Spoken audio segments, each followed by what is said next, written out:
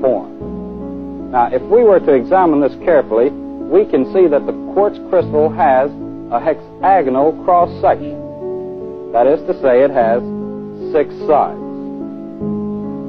Now, also, quartz crystal in its natural form has pointed ends. This one doesn't because a primary cut has already been made on this crystal. Now let's take a look at this drawing so that we can determine more about the quartz crystal. There are two views. The top view indeed shows us that the quartz crystal has a hexagon shape, six sides.